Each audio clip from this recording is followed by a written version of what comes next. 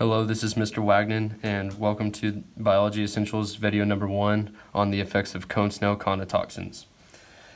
There are over 800 different species of cone snails, but we are going to focus on the Conus textile in particular. The Conus textile is a carnivorous snail that lives in the Indo-Pacific region, Australia, and the Indian Ocean. They're the most toxic type of cone snail, and they use harpoon-like teeth to repeatedly jab their prey to inject venom. The snail then engulfs their paralyzed prey completely and digests it. Here's a picture of a cone snail eating a fish. Here's the siphon right here. The mouth and the eye of the cone snail. You can't really see it that well, but it's not that important because cone snails uh, go mainly off of uh, their sense of smell. Cone snails as a whole uh, have around 80,000 different conotoxins. Uh, we're going to focus particularly uh, on a conotoxin called TX7, which arose from genetic mutations in the cone snail's DNA, and it allowed for a unique structure. Uh, conotoxins are a peptide. Um, they're a short sequence of peptides, so uh, genetic mutations can play a, a big role in a unique structure that allows them to um, attack um, channels within um, fish membranes or whatever that they decide to attack. Um, conotoxins have started being used for drug research and molecular targeting. And now we're going to move on to um, a neuron. We have this side over here, which is the inside of the neuron. And then over here we have the muscle which we call a neuromuscular junction. Um, the particular channel that TX7 affects is um, the L-type VSCC, which is right here. VSCC stands for voltage sensitive calcium channel. Um, whenever we have an action potential moving down the neuron, uh, the depolarization during that action potential causes um, calcium ions to flow in to the neuron. As they're rushing in, that positive change in um, inside of the neuron causes a neuromodulator, which is a signaling molecule, to fuse to the membrane and be released. It comes around and binds. This is a type of autocrine signaling. This signals uh, a G protein right here to move along the membrane to N type or PQ type VSCCs, which again are voltage sensitive calcium channels. Uh, this causes even more calcium to rush into the neuron. And then that positive change within the neuron causes acetylcholine to fuse to the membrane and release into the neuromuscular junction. And then that continues, the action potential continues down the muscle membrane until it gets to the T-tubule, which uh, causes a muscle contraction.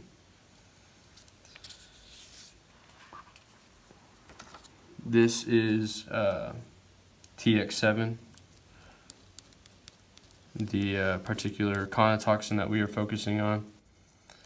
Um, as you can tell, there's a four loop structure that it has. This is characteristic of most conotoxins. But what makes TX7 unique is that um, it has six cysteine amino acids. Here's the abbreviation for that. Uh, cysteine is the only amino acid that contains sulfur. So since there's six of these, it allows for three disulfide bonds to form. And those are seen right here, right here, and right here. Um, TX7 has mostly negative charges, but it has a large hydrophobic patch, which means that um, it is uh, repelled by water. Um, the mutations in the conus textile DNA have allowed for amino acid substitutions that increase the toxin's versatility, uh, which allows it to attack many different types of channels um, in many different ways. Uh, just depends on how um, one of these loops is oriented whenever um, it binds to the channel. Um, lysine, another amino acid uh, within the peptide structure of TX7, uh, gives a small positive charge residue, which increases the dynamic of TX7 even more, uh, providing uh, more routes in ways that it could attack uh, different channels throughout uh, the bodies of the cone snail prey.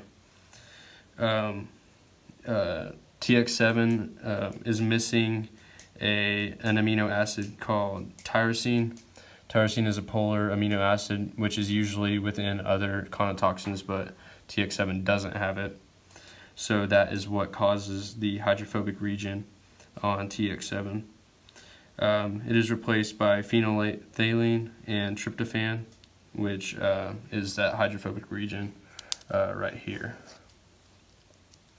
And that sticks out a lot. Um, so whenever that hydrophobic region binds with um, the uh, L-type voltage sensitive calcium channels that were shown earlier, um, it's really hard for uh, the cell to dissolve that because it's uh, lipid soluble.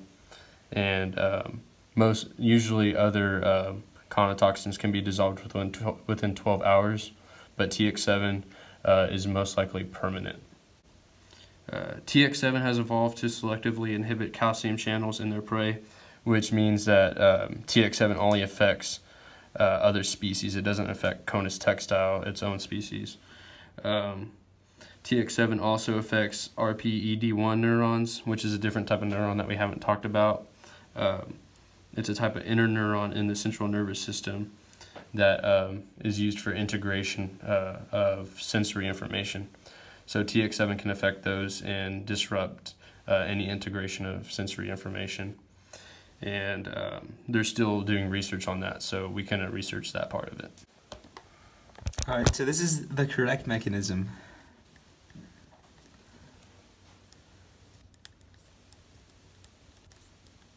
Right, this is a neuron, and this is a muscle over here. What happens first is there's going to be an action potential that comes down. That's going to happen due to depolarization, and that's going to cause what's called the L-type VSCCs, which stand for long long term uh, voltage sensitive calcium channels.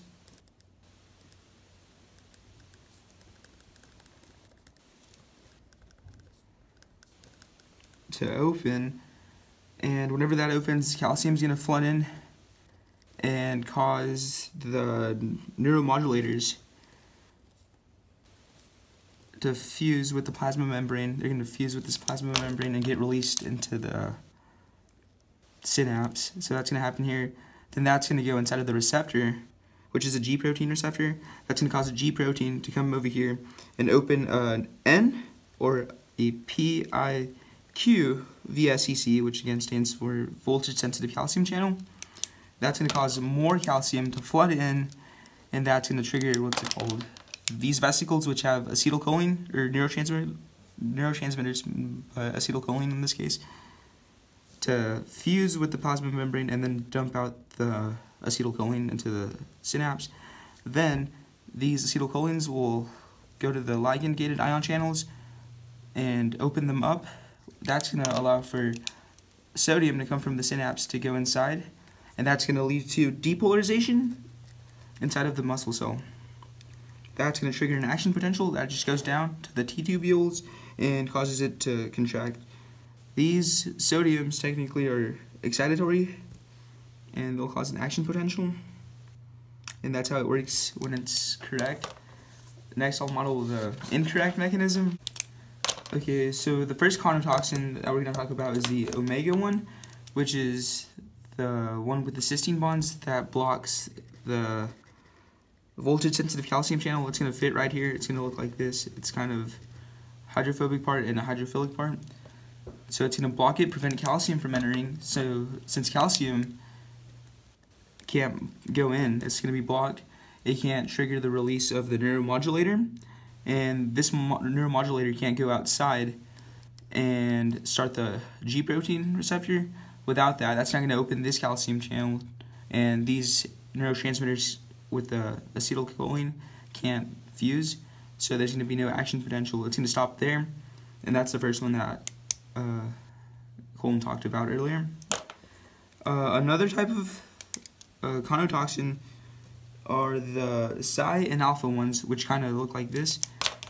They block the ion gated channels right here and prevent what's it called? Even if acetylcholine got into the synapse, they prevent the acetylcholine from binding to the ion or the ligand gated sodium channels, so the sodium wouldn't be able to come in and there would be no action potential.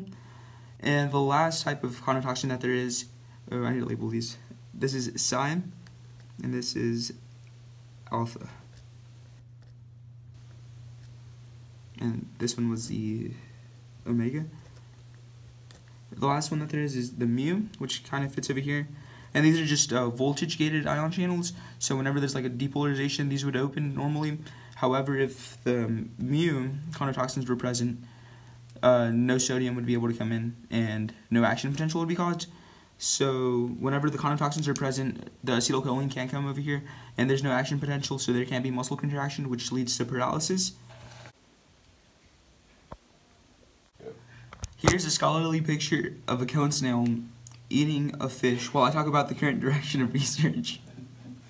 okay, so toxins such as OMIA, which is an alpha conotoxin, which are the ones that bind to the ion gated channels, are being studied as they could lead to treatments for brain disorders such as Alzheimer's and Parkinson's. Uh, they may be useful because they can unlock certain nicotinic acetylcholine receptors that are found in the brain, these are found in neuromuscular junctions and play essential roles in con controlling the release of certain neurotransmitters. So once it was identified, uh, the OMIA, uh, its chemical structure was determined and it was synthesized. By studying the conotoxin, scientists are trying to imitate it in medicine to control neurotransmitter release, and this leads to helping brain disorders such as depression, nicotine and alcohol addiction, and possibly schizophrenia. Okay, so that's the current direction of research. We're just using the conotoxins to try to mimic them in our pharmaceutical drugs. And to finish it off, here's a video of a um, cone snail eating a fish. Oh yeah. Alright, so the cone snail's right there. You can see it's um, siphon, and it's looking for the fish. The fish is right there, and it's, um, yep.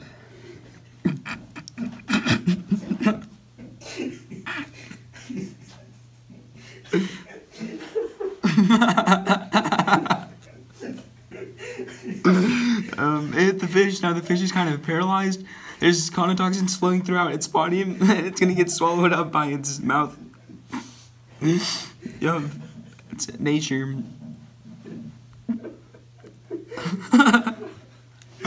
um, here's we're excited, and um, we're done. I uh, hope that was helpful.